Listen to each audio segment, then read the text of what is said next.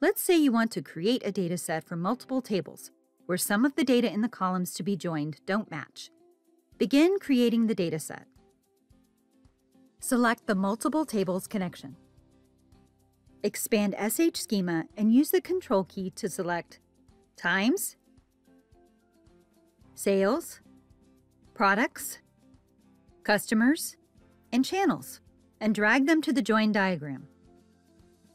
The Channels table isn't joined automatically to the other tables. So why is that? Explore the Channels table columns. It appears that the channel ID column contains a hyphen followed by a number, but the sales table channel number column only contains numbers. So the column names and data don't match, and therefore aren't automatically joined by the system. Let's fix that. Open the channels table in the join diagram. Split the channel ID column into two columns.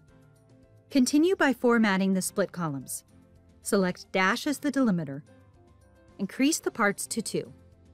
Rename the second column as channel underscore number and add the step to commit the change.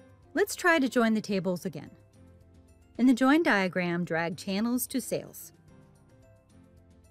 Focus on the sales columns. The sales channel number column is grayed out because it's a measure. Change it to an attribute and select it for the join.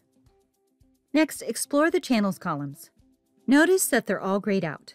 That's because the sales and channels tables data types aren't compatible. Let's work on that. Explore the channels table again. Convert the channel number column to the numeric data type.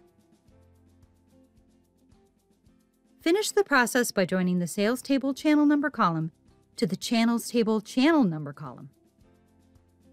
Success! The table column data is transformed, and the joins created between dataset tables to create the dataset. In this video, you created a dataset from multiple tables, where some of the data in columns to be joined don't match by transforming the data in the columns and then creating a join. Check us out at docs.oracle.com.